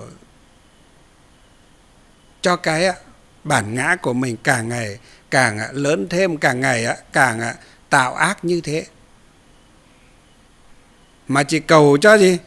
Đã chúng ta tụng đăng tụng kinh phổ môn đúng không? Đọc 12 đại nguyện của Bồ Tát phổ môn sau đó chúng ta có cái đoạn phát nguyện đó đúng không? Kính lạy đức quán âm Bồ Tát á. Kính lạy đức quán thế âm á. À, chúng ta cầu cái gì? Cầu được khai uh, à, thông trí tuệ này kính lạy đức bồ tát quan âm này cầu à, cho con à, sớm vượt qua biển khổ này. Kính lạy đức quan à, thế âm này à, cầu nguyện cho con sớm được thuyền gì? Đức được thuyền ở bát nhã này. Kính lạy đức quan âm bồ tát khiến cho con gì? Con tận độ chúng sinh này vân vân và vân vân. Phật bồ tát dạy chúng ta gì? Toàn những cái điều hay lẽ phải vậy mà chúng ta không học lại đi học những cái điều à, xấu điều à, không tốt thì à, nguy hiểm vô cùng đó. Cho nên qua cái à, đại nguyện thứ 20 này chốt lại khuyên chúng ta chúng tôi à, dựa vào lời Phật giảng ở trong này mà khuyên tất cả chúng ta đó là gì?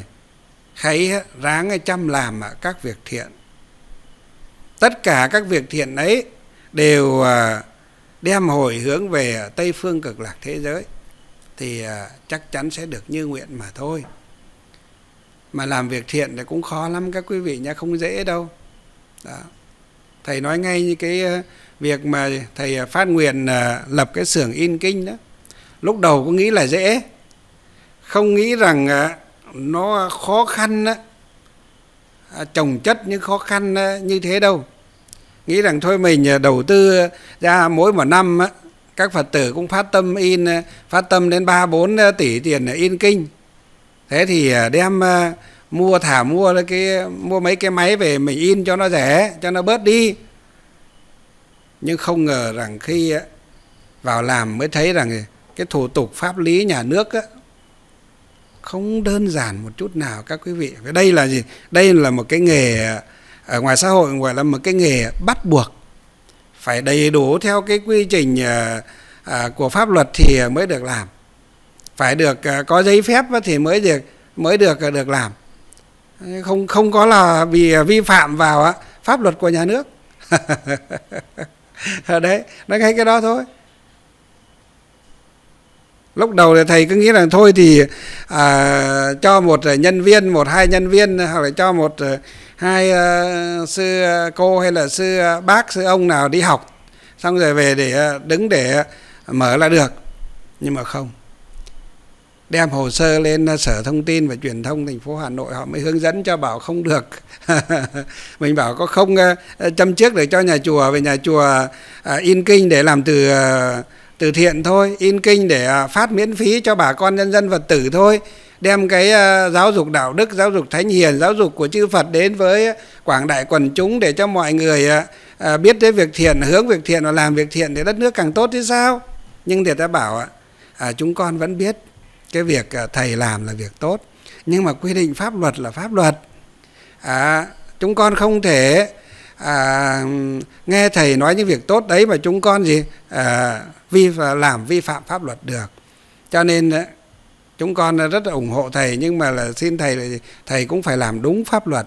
Vì cái ờ, ngành in này là là một cái ngành bắt buộc của pháp luật nhà nước Việt Nam chúng ta. Mà cái người đứng đầu là phải phải đi học. Chúng ta nhớ nhé người đứng đầu là phải đi học. Phải đi học, phải được cấp giấy chứng chỉ. Sau đó phải có giấy chứng chỉ của à, bộ thông tin và truyền thông của cục xuất bản rồi á, thì khi đó mới quay trở lại thành phố Hà Nội nộp hồ sơ đầy đủ lên sở thông tin và truyền thông thành phố Hà Nội. Thì khi đó trong vòng à, 2 tuần tức là 14 ngày họ xem xét rà soát hồ sơ hợp lệ đầy đủ các yếu tố đảm bảo an toàn về an ninh chính trị xã hội phòng cháy chữa cháy rồi à, tất tần tật những cái à, gì mà à, pháp luật à, quy định để cho phép á thì khi đó họ mới cấp giấy phép. Đấy chúng ta nghĩ xem muốn làm một việc thiện nhưng cũng vẫn phải à, đúng với quy định của pháp luật nhà nước chứ chúng ta cũng không thể bỏ qua được. Những cái à, gì pháp luật bắt buộc thì à, các công dân đều phải chấp hành đầy đủ thì chúng ta cũng phải chấp hành đầy đủ. Đấy đấy là một việc. Còn rất rất nhiều những việc à, nó phát sinh nữa các quý vị lúc đầu tôi cứ nghĩ rằng là có cái máy in có cái máy à, à, khâu có cái máy à, à, ép keo có cái máy cắt là xong. Nhưng mà trong quá trình làm mới thấy thì có cái máy in đen trắng thì lại thiếu cái máy in màu. Lại thiếu cái máy in màu. Mà cái máy in màu đâu nó có rẻ đâu các quý vị cái máu máy mình mua từ năm 2002-2003 đến giờ, tức là tức là 17 18 năm nay rồi. Nhưng mà nhập tận ờ, nhập thẳng từ bên Nhật về máy bãi về đấy nhé thế mà cũng đã 5 6 tỷ đồng rồi. Khủng khiếp thật. Nếu xét ra nhân dân chúng ta đi cày đi cấy thì không biết là cấy bao nhiêu ha ruộng mới mới được ờ, đem bán đi mới đổi được một cái máy cũ như thế cho nên chúng tôi mới nói là gì? người Việt Nam chúng ta cần phải gì? cần phải học để bắt kịp những cái đà tiến của thế giới. Cái, cái sự tiến bộ của thế giới đặc biệt là công nghệ khoa học. Ngành công nghiệp công nghệ khoa học. Chúng ta thấy một cái máy cũ của họ dùng 17 năm rồi họ đem bán cho chúng ta mà họ vẫn thu về là gì? Là 5 6 tỷ bạc. Chúng ta nghĩ họ đã làm 17 năm trời rồi ra bao nhiêu sản phẩm bao nhiêu tiền bao nhiêu lợi nhuận đấy rồi đem bán cái đồ cũ cho chúng ta mà vẫn thu về như thế. Chúng ta nghĩ xem nếu chúng ta cấy bao nhiêu ha làm ruộng ấy, trồng rau trồng hoa màu ấy, bao nhiêu ha mới được như thế. Cho nên chúng tôi thấy là đảng nhà nước chúng ta bây giờ nhìn nhận về à, phát triển kinh tế xã hội đó là gì? đó phải muốn xây dựng à, xây dựng đất nước à, văn minh giàu đẹp. À, vững bước tiến lên thì phải phát triển bằng ngành công nghiệp. Ngành nông nghiệp chỉ là ngành để ổn định nhá, đời sống của nhân dân ổn định cái tình hình an ninh lương thực à, của quốc gia mà thôi. Và nó chiếm một phần là tỷ trọng phát triển kinh tế GDP của đất nước rất gì à, rất khiêm tốn vậy. Mà nó phải là gì? Ngành à, công nghiệp. Năm 2020 vừa qua nguyên cái gì? Cái tập đoàn uh, Vin uh, tập đoàn à, Vingroup của chỗ bác Phạm Nhật Vượng. Đóng góp à, thuế cho thành phố Hải Phòng. Mà bằng gì ạ? Một cái tập đoàn thôi mà họ đóng góp là bằng à, bằng một phần ba, một phần tư của gì? Của tổng thu ngân sách của thành phố Hải Phòng chúng ta thấy. Mà đấy mới là một doanh nghiệp thôi. Một doanh nghiệp lớn thôi các quý vị. Đó. Cho nên là bây giờ chúng ta mà vẫn còn cái tư duy đó là gì? À, đó là con trâu là đầu cơ nghiệp là chúng ta nguy hiểm. Nhưng bây giờ ruộng nương bây giờ nông thôn này ngay chỗ sân đông thì bây giờ có mấy người cấy nữa đâu các vị. Mười nhà thì à, tám nhà bỏ hai nhà cấy nữa thôi. Hoặc cấy một chút để lấy lúa, lấy thóc để ăn nữa thôi. Ừ. Họ bỏ đồng ờ, ruộng như thế, họ đi làm công nhân, đi làm thợ xây, rồi đi ờ, làm nghề. Họ đi làm thợ xây một ờ, tháng. Họ được khoảng ít đi phụ xây một tháng, họ phải được sáu bảy triệu. Chúng ta đây sáu bảy triệu, họ đông được gì? Được năm tạ thóc rồi. Có một tháng họ đông được năm tạ thóc. Mà nếu làm nông thì cả nhà bốn năm người đi làm bốn năm tháng sau mới ờ, thu được ờ, ba bốn tạ thóc. Đấy. Cho nên à, chúng ta cũng phải suy nghĩ về cái cách tiếp cận và phát triển như thế. Mà muốn làm được cái điều đó thì chúng ta phải đi đi từ đi từ giáo dục đi lên. Đó, cho nên hôm nay chúng tôi mới nói à, như thế đó. Mới nói với chúng ta như vậy đó. Đấy. Vì muốn cho cái nền ờ, giáo dục, cái ờ, văn hóa, cái tri thức của người Việt Nam chúng ta không chỉ ờ, các con, các cháu đâu, mà cả các Phật tử chúng ta. Cho dù là lớn tuổi hay nhỏ tuổi, chúng ta cũng phải tiếp cận tới những cái nền giáo dục văn minh. Mà chúng ta biết là giáo lý của Đức Phật là một cái gì? Một cái nền giáo dục là cực kỳ văn minh, chứ không phải là văn minh vừa vừa, mà là cực kỳ văn minh, các quý vị. Cho nên chúng tôi mới thấy thì nếu mà chúng ta có cái xưởng in kinh chúng ta sẽ đem cái ờ, lời ờ, giảng dạy ờ, của một bậc siêu xuất trí tuệ như là Đức Phật như chư vị Bồ Tát, chư vị lịch đại tổ sư để đem đến với quảng đại quần chúng, đặc biệt là những bà con tín đồ Phật tử, các cháu nhỏ ở nơi vùng sâu vùng xa, ở những ngôi chùa hẻo lánh kinh tế khó khăn kinh chưa đủ tụng thì huống chi là sách để đọc. Đó. cho nên chúng ta làm được cái điều này. À, tôi nghĩ rằng cũng góp phần để nâng cao cái vấn đề tri thức về giáo dục cho một bộ phận không nhỏ của nhân dân chúng ta. Cùng chung tay với đảng nhà nước chính phủ các cơ quan ờ, chức năng, các cấp, đặc biệt là với gì? Với ngành giáo dục của nước nhà, đem cái ờ, nguồn ờ, tri thức vô cùng, vô tận, mênh mông, rộng lớn đến về, đến với mọi người vậy. Tuy nhiên để làm được điều đó, xin thưa các quý vị, cũng vô vàn những khó khăn. Tôi nói với các quý vị là vô vàn những khó khăn. Có những lúc mà các vị biết mà tôi nản tôi nản là tôi ra buông xuôi cho bạn, ôi thì thôi chả làm nữa. Nhưng mà nghĩ đi nghĩ lại là, chư Phật Bồ Tát đi vào đời để độ chúng sinh đâu có dễ dàng à, như là gì ạ? Đói thì ăn mệt thì uống khát thì à, đói ăn khát uống mệt ngủ khò đâu. Mà chư Phật Bồ Tát phải lăn lộn vào đời để độ chúng sinh thậm chí dùng cả một gì một cuộc đời để hóa độ một chúng sinh nhưng mà các ngài còn chẳng tử nan chẳng kêu ca chẳng oán thán và chẳng à, thoái à, tâm cơ mà. Nay mình mới hơi một chút khó khăn vất vả đã thoái rồi. Mới hơi à, thiếu thốn một chút đã gì đã đã thấy là gì? Thấy khổ cực rồi thì không biết làm thế nào.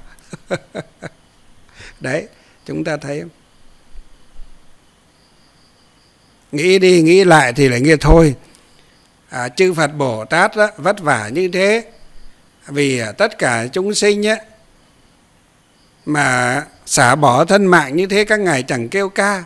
Nay mình ấy, à, được chư Phật Bồ Tát á, hộ niệm cho được như thế này rồi mà chẳng à, á, dẫn thân để làm việc thiện á, thì biết bao giờ cho làm được. Cho nên á, bụng á, bảo dạ tự à, sách tiến mình rằng thôi thịnh ơi khó khăn cũng cố phải cố mà đi lên. Thịnh ơi khó khăn cũng cố phải mà đi lên. Cho nên là đấy à, người ta bảo tôi đi học. Tôi cũng phải đi học đấy các quý vị tôi cũng phải cắp sách ra đến trường để học. Ngại đến chết ra được. Mười mấy gần hai mươi năm nay không à, à, học rồi. Bây giờ tự nhiên lại lại đi học trở lại nghe nó cứ ngại ngại thế nào gần 20 năm không ờ, cầm bút không làm bài thi rồi. Giờ lại gì? Lại ờ, tiếp tục ờ, đi thi. Các vị biết chứ hôm rồi trước khi đi thi là tôi phải tôi phải ngồi chép bài từ 7 8 giờ tối cho đến hơn 12 giờ đêm. Và chép lại các câu hỏi, chép lại các bài ôn thi á, chép lại hết một vòng. Ừ, các bài để chép xong rồi để mình mới biết à, đấy. Mặc dù học ở trên lớp học rất là à, có mấy buổi có bốn năm buổi thôi. Nhưng mà mình học rất là nghiêm túc. Có học thì mới biết được. Không chỉ học nghiêm túc mà còn quay phim chụp ảnh lại những bài giảng của thầy giáo để về để so sánh lại để đối chiếu lại để học hỏi thêm lúc đi thi mình cứ nghĩ rằng thế kinh nghiệm đi thi thì cũng tám chín ờ, tám chín năm ngồi dưới nhà trường rồi cho nên không ờ, có gì là phải lo lắng lắm nữa. Nhưng mà à, một cái môn học ờ, nó thuộc về ngoài đời như thế nó gọi là thế học như thế. Không phải là mình là vị sư mà có thể học được ngay. Nhưng được cái may mắn là mình lại cũng ờ, nhanh nhạy nắm bắt là cũng gì à, cũng tốt. Cho nên những câu hỏi của các thầy giáo làm đôi khi là trong bốn câu thì họ thì, ba câu họ cho đúng, còn một câu họ đánh đố, họ xem ra mình có học thật không, có biết không? Đấy là câu hỏi mẹo ấy. Để biết để xem xem đánh giá anh có học thật không. Hóa ra mình ờ, cũng chịu khó mình ờ, nghiên cứu, mình đọc lại ờ, sách, đọc lại bài giảng, xem lại bài giảng của thầy. Thấy có đoạn nó sai sai, mình nghĩ ngay là đây là gì? Đây là, gọi là câu hỏi mẹo rồi. Vì mình cũng đã đi làm thầy giáo, đi giảng ở à, trung cấp và học viện phật giáo rồi mà. Đôi khi mình cũng hỏi câu hỏi mẹo đối với học sinh của mình như thế. Để xem xem anh xuất sắc anh học thật hay không xuất sắc thật hay không. Thế cũng may các quý vị mèo mù mới được ca dán đi thi không ngờ là được ờ, điểm cao nhất trong người trong cái top những người điểm cao nhất được 9,75 điểm trong 10 điểm.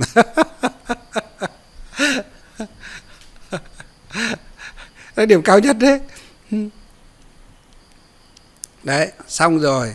Một việc à, khó khăn à, đã vượt qua. Để tiếp tục à, làm hồ sơ thủ tục để trình lên sở thông tin và truyền thông thành phố hà nội. Người ta thẩm định. Mình đầy đủ các yếu tố về quy định pháp luật nhà nước cho phép thì khi đó mới làm. À, tôi nghĩ là xong là ổn rồi những cái à, quy định pháp luật nhà nước thì à, mình à, tôi nghĩ là đầy đủ hết rồi. Còn mỗi cái giấy à, à, chứng chỉ à, của người đứng đầu trong cái ngành in mà pháp luật bắt buộc đó nữa thì hôm rồi thi xong rồi có giấy tờ xong rồi và hôm qua đã gửi lấy để đi gửi lên bộ thông tin và truyền thông rồi. Tôi nghĩ thì à, sở thông tin và truyền thông rồi chắc là theo đúng như quy định thì hai tuần sau là có giấy phép thôi. Và chúng ta chính thức đường đường chính chính là đi vào để in ấn những ờ, pháp bảo, tam tạng kinh luận luận của Phật giáo, để ờ, cúng dường ờ, chư tăng cúng dường các tín đồ Phật tử theo khả năng của chúng ta. Chúng ta nhớ nha, đạo tràng chúng ta phát nguyện làm cái này là tuyệt đối không kinh doanh. Tuyệt đối không phải là kinh doanh để lấy tiền. Mà nếu có các chùa nào đó họ in ấn hoặc các à, tín à, đạo tràng phật tử nào đó mà phát tâm in ấn để cúng dường các chùa thì à, chúng ta cũng chỉ có thu đủ tiền giấy tiền công nhân tiền giấy tiền mực tiền công nhân mà thôi. Ví dụ như ngoài họ thì họ lấy khoảng 10 là 15 nghìn một à, cuốn sách khoảng độ trăm trang chẳng hạn thì chúng ta tính à, lên tính xuống ra mà nó chỉ đủ tiền giấy tiền mực tiền à, Ờ, công nhân ra thì nó rơi vào khoảng 10 11 12 triệu thì chúng à 10 11 12 ngàn thì chúng ta lấy à, chỉ đến thế thôi. Chứ ở ngoài thì họ mới lấy lãi, họ làm ở ngoài lấy lãi còn chúng ta lấy lãi làm gì? Thì cái số còn dư lại thì có thể là Phật tử họ đỡ phải trả tiền các sư đỡ phải trả tiền hoặc là họ là in thêm được một vài trăm thậm chí một vài ngàn quyển sách nữa nếu như họ in nhiều để họ phát cho tín đồ Phật tử phát cho nhiều người biết tới Phật pháp biết tới à, việc thiện à, biết à, làm việc thiện nhiều hơn thì đó là một việc tốt.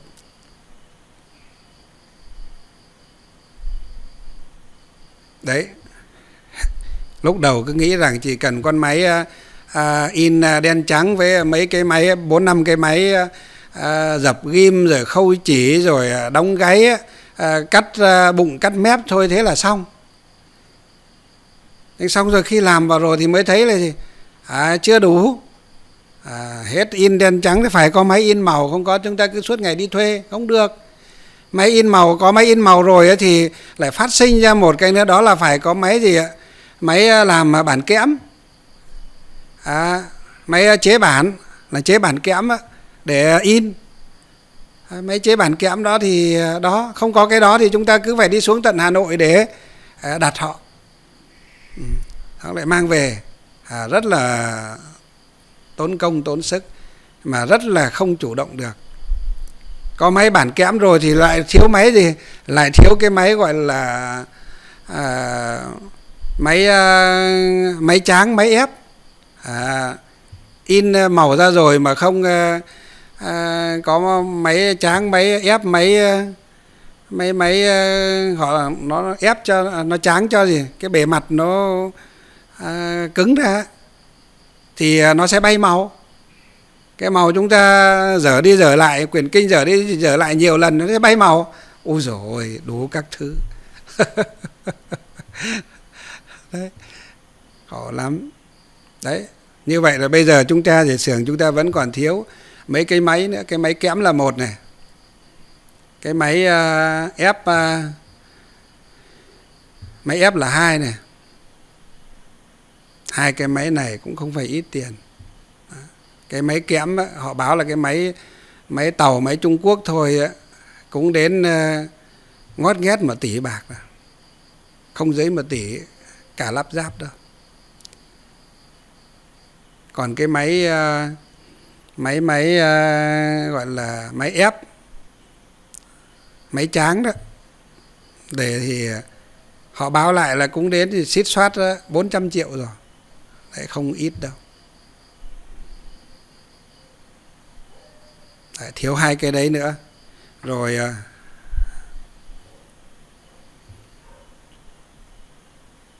một số những cái ờ, máy nho nhỏ. Mà đặc biệt là tới đây là thiếu hai cái máy nho nhỏ nó người ta báo lại là tổng là hết là 160 ờ, triệu hai cái máy nho nhỏ ấy một cái máy khâu với một cái máy ờ, cắt ba mặt ờ, cũ cũ ấy nhưng vẫn dùng được. À, thôi bây giờ mình còn khó khăn cái dùng cái đấy được. Bình thường ra mua một cái máy ờ, cắt ba mặt nó cũng phải hai trăm rưỡi ba trăm triệu trở lên cho đến 500 triệu. Đấy cũng là máy bãi thôi. Nhưng mà này là họ thanh lý. Có một nhà in họ covid cho nên họ sập tiệm. Họ không làm được nữa cho nên họ thanh lý. Họ nói với tôi là thanh lý cho nên hai cái máy Ờ, trị giá nó cũng phải đến trên 300 triệu nhưng mà họ thanh lý cho nên hết có 160 triệu. Nhưng mà cũng chưa có tiền mà lấy. Đấy các vị thấy không? Làm việc thiện đâu có phải dễ. Khó khăn chồng khó khăn đấy chứ. Không phải dễ một chút nào. Cho nên à, các phật tử chúng ta nếu mà chúng ta thực sự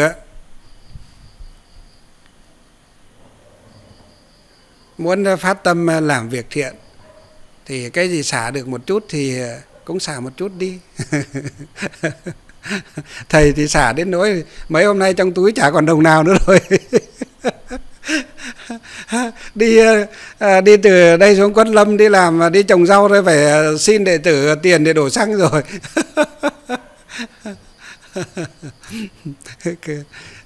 À, nhưng mà thôi cũng không được nản.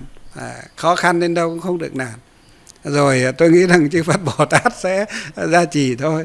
Thì hôm nay thì tôi, thời gian đã hết, chúng ta tạm nghỉ ở đây, ngày mai chúng ta học tiếp.